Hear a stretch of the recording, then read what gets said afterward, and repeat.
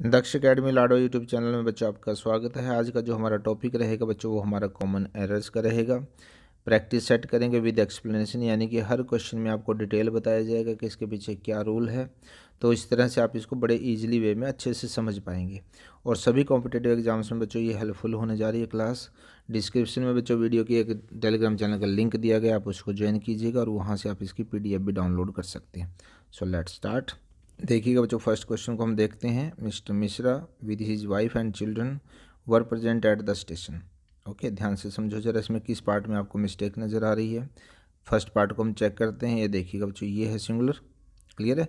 और with his wife and children तो जब इस तरह से बच्चों को यूज़ हो रहा है सिंगुलर के साथ विद प्लस में कुछ आया हुआ है तो यहाँ पे देखिएगा जो हमारी वर्ब होनी चाहिए थी बच्चों, वो भी हमारी सिंगुलर होनी चाहिए थी।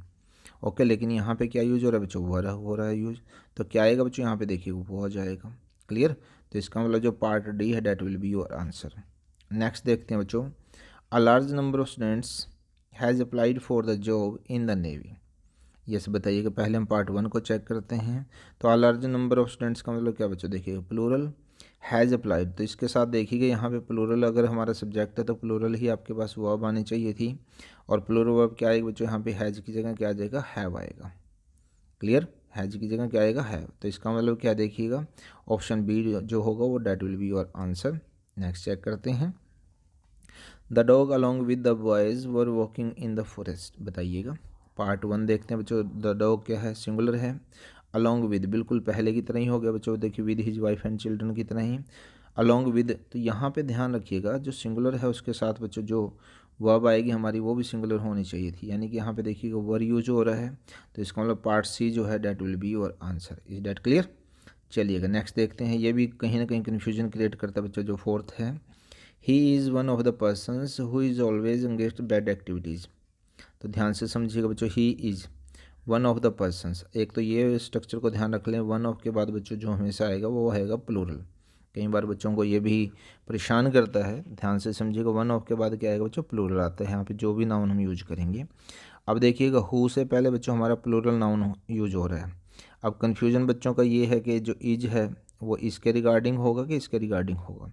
तो बच्चों, यहाँ पे देखिए हु से पहले जो हमारा होगा, उसके रिगार्डिंग हमारे यहाँ पे एडजस्टमेंट बनेगी, यहाँ पे इज़ और आर की। तो यहाँ पे प्लोरल है तो क्या आएगा बच्चों इज़ की जगह आर आएगा, यानी कि ऑप्शन सी जो है that will be your answer next देखते हैं बच्चों। तो यहाँ पे देखिए कि bad news dash always sorry bad news always travel fast no error बताइएगा। हम पार्ट वन को चेक करते हैं तो यहाँ पे देखिए न्यूज़ है। न्यूज़ बच्चों सिंगुलर होता है। ओके, बहुत बार बच्चे इसको प्लूरल समझ लेते हैं, ये होता है सिंगुलर और जो बच्चों प्रेजेंट इंडेफिनिट जैसे always travel fast present indefinite है तो फ़र्स्ट फॉर्म के साथ क्या आएगा बच्चों? एस और ई e एस तो यहाँ पे ट्रैवल है तो क्या आ जाएगा बच्चों? यहाँ पे ट्रेवल्स आ जाएगा, यानी कि जो पार्ट सी है that will be your answer is that clear next देखते हैं बच्चों Guriya notice me that a gang of dacoits were coming to attack my house अब जो गैंग ऑफ़ डिकॉइड्स है बच्चों, देखिएगा, पूरा का पूरा एक ग्रुप है, जो बदमाशों का ग्रुप है तो इसका मतलब क्या बच्चों? ये होगा हमारा सिंगुलर और यहाँ पे देखिएगा जो हमारी हेल्पिंग वर्ब आई, अब जो वो प्लोरल है तो यहाँ पे क्या होना चाहिए था बच्चों? वॉज़ तो इसका मतलब ऑप्शन सी जो है that will be your answer that clear next देखते हैं. Varsha is the only one of those girls who makes a castle in the air अब कैसल इन द एयर का मतलब क्या बच्चों? हवाई किले बनाना, हवाई बातें करना, बेसिर पैर की बातें करना, उस सेंस में हम इस इडियम का यूज़ करते हैं। तो यहाँ पे देखिएगा सेम वही है one of those girls who लगा हुआ है। इससे पहले बच्चों क्या आया हुआ है? प्लूरल तो यहाँ पे क्या आएगा बच्चों? देखिए, जो वर्ब होनी चाहिए थी डेट विल बी प्लूरल होनी चाहिए थी यहाँ पे वर्ब ओके लेकिन आया हुआ क्या है बच्चों? यहाँ पे मेक्स है सिंगुलर है। तो इसका मतलब जो पार्ट डी है that will be your answer clear next देखिए बच्चों, बहुत important part number eight next देखिए अकाउंटेंट एंड द कैशियर एक तो पहले आप इसको समझिएगा। कैशियर और अकाउंटेंट दोनों के साथ ही आर्टिकल यूज़ हो रहा है। इसका मतलब कैशियर एक अलग पर्सन है और अकाउंटेंट एक अलग पर्सन है। ओके ध्यान से समझते चलें। The accountant and the cashier is absent today okay अब बीच में देखिए बच्चों, ये दोनों के दोनों एंड से जुड़े हुए हैं तो इसका मतलब ये प्लूरल की तरह बिहेव करेंगी। क्लियर तो इनके साथ बच्चों, जो हमारी वर्ब होनी चाहिए थी, वो भी प्लूरल होनी चाहिए थी, लेकिन यहाँ पे क्या है? इज़ समझ पा रहे इस बात को? तो यहाँ पे क्या आना चाहिए था बच्चों? आर यानी कि जो पार्ट सी है that will be your answer next देखते हैं। क्या है बच्चों? देखिएगा। Many of the question asked in the question paper was easy yes पहले हम पार्ट ए को चेक करते हैं many of the question okay तो इसका मतलब ये हमारा सब्जेक्ट क्या बच्चों प्लूरल तो ऑब्वियसली क्या आएगा इसके साथ? प्लूरल वर्ब होनी चाहिए। लेकिन यहाँ पे क्या देखिए बच्चों, वो जाया हुआ तो इसका मतलब option D that will be your answer समझते चलें। क्वेश्चन नंबर टेन को देखिए, बहुत इंपॉर्टेंट है। If I was you I would not have committed this blunder एक तो आप इसको समझ लें। ब्लंडर के साथ बच्चे बहुत बार मिस्टेक लिख देते हैं। ब्लंडर मिस्टेक बोल भी देते हैं। कभी भी ब्लंडर के साथ मिस्टेक का यूज़ नहीं करना है। ब्लंडर को इसी तरह से लिखेंगे आप। इस डेट क्लियर चलिएगा, देखते हैं अभी इसमें और। यहाँ पे फ़र्स्ट पार्ट को देखते हैं। इफ़ आई वॉज़ यू एक बच्चों, ध्यान रखना, जब कभी इस तरह का कोई भी सेंटेंस आए तो आई के साथ अगर आई आपका सब्जेक्ट तो आप क्या आएगा बच्चों, यहाँ पे वर आएगा। If I were you clear point तो यहाँ पे क्या होगा बच्चों? आई के साथ वर यानी कि पार्ट ए जो है that will be your answer next देखते हैं बच्चों इलेवेंथ में क्या है? The majority of labourers is demanding and increase in wages अब यहाँ पार्ट वन जो बच्चों, देखिएगा, ये प्लूरल है तो यहाँ पे लगा हुआ है इज़ तो प्लूरल के साथ क्या यूज़ करते हैं बच्चों? प्लूरल वर्ब का यूज़ करते हैं तो इसका हम लोग ऑप्शन बी जो है that will be your answer next बच्चों I am sure that neither the house nor it contents are for sale ध्यान से समझो ज़रा इसको। जब कभी बच्चों नाइदर नॉर आइदर और हो तो जो बाद वाला सब्जेक्ट हो तो उसी के अकॉर्डिंग बच्चों हम यहाँ पे हेल्पिंग वर्ब या वर्ब यूज़ करते हैं। अब यहाँ देखिए कंटेंट्स हैं बच्चों तो इसका मतलब क्या है? प्लोरल आएगा हमारा तो इसका मतलब इसका आंसर होगा नो एरर एक बच्चों और देखिएगा, यहाँ पे इट्स लगा हुआ है। एक आपने कई बार नोट किया होगा, ये भी इट्स तो इसका मतलब होता है बच्चों इट इज़ या फिर it has okay it is या फिर इट हैज़ और ये जो इट्स है बच्चों, ये है हमारा एडजेक्टिव क्या है? एडजेक्टिव समझ पा रहे हो इस बात को? चलिएगा नेक्स्ट देखते हैं। ये चीज़ें भी नोट करते चलें। नेक्स्ट में क्या बच्चों देखिएगा? Hindi and Marathi are different forms of Sanskrit language which were one spoken in almost every part of India यहाँ बच्चों पार्ट कर लेना। ओके यहाँ देखिए बच्चों, एक तो हिंदी एंड मराठी। इसका मतलब क्या? लैंग्वेज के आगे कभी हम आर्टिकल का यूज़ नहीं करते, ये पार्ट हमारा ओके है। एंड से जुड़े हैं दोनों तो आर लगा हुआ ये भी हमारा ओके है। Different forms of Sanskrit language which were अब यहाँ देखो जी, यहाँ थोड़ा सा कन्फ्यूज़न हो जाता है। वर हम संस्कृत के लिए यहाँ पे आएगा या फिर हम यहाँ पे इस सब्जेक्ट की बात कर रहे हैं? तो यहाँ पे बच्चों संस्कृत के रिगार्डिंग आएगा तो संस्कृत सिंगुलर है। तो इसका मतलब क्या है बच्चों, यहाँ पे देखिएगा वर की जगह क्या आ जाएगा? वॉच तो इसका मतलब option C that will be your answer next देखते हैं। Two thirds of the book were rubbish बताइएगा।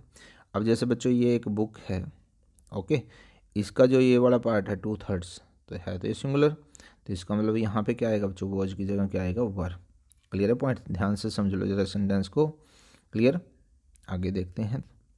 मैनी स्टूडेंट बहुत इंपॉर्टेंट बच्चों ये fifteen many student are frustrated because of unemployment अब बहुत बार बच्चे कन्फ्यूज़ हो जाते हैं मैनी ए में।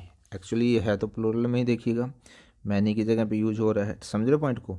तो यहाँ पे जो हमारा मैनी ए कभी दिखे आपको तो सिंगुलर तो सब्जेक्ट आता है, बच्चों, और सिंगुलर ही वर्ब होती है। ध्यान से समझो, मैनी स्टूडेंट ठीक है, यहाँ पे कई बार बच्चे मैनी स्टूडेंट्स लिख देते हैं, ध्यान से समझिए, अगर सिर्फ़ मैनी होता, फिर स्टूडेंट्स होता ओके था। लेकिन मैनी स्टूडेंट सिंगुलर और सिंगुलर इसके साथ वर्ब आनी चाहिए। यहाँ पे क्या बच्चों देखिएगा आर आया हुआ है तो यहाँ पे क्या आएगा इज़ क्लियर पॉइंट तो इसका मतलब पार्ट बी आपका आंसर हो जाएगा। नेक्स्ट देखते हैं। नन ऑफ़ माई फ्रेंड्स बिल्कुल ठीक, यहाँ तक। Are applying for this job अब बच्चों, यहाँ पे देखें नन ऑफ़ माई फ्रेंड्स में जो ये आर है, यहाँ पे हमारा सिंगुलर और प्लोरल दोनों ही आ सकते हैं। लेकिन प्रेफरेंस बच्चों, हम सिंगुलर को देंगे। क्लियर है? यानी कि यहाँ पे ई जाना चाहिए था तो ऑप्शन सी जो है that will be your answer clear next देखते हैं। A group of friends want to visit the new plant at early as possible ये बताइएगा, इसमें क्या आएगा बताए। यहाँ पे देखिए ग्रुप ऑफ़ फ्रेंड्स पूरा का पूरा एक ग्रुप है बच्चों। क्लियर सिंगुलर की तरह यूज़ होगा। तो यहाँ पे जो वर्ब आई हुई है बच्चों, वो देखिएगा वॉन्ट प्लूरल यूज़ हो रही है तो यहाँ पे क्या आएगा बच्चों? वॉन्ट्स आ जाएगा। क्लियर नेक्स्ट देखते हैं। The cabinet minister and the prime minister पहले बताया था बच्चों, देखिएगा। दोनों के आगे द आर्टिकल यूज़ हो रहा है तो इसका मतलब ये क्या है दो अलग अलग सब्जेक्ट हो गए हमारे। और एंड से जुड़े हैं तो बच्चों, ये क्या होगा प्लूरल हो गया।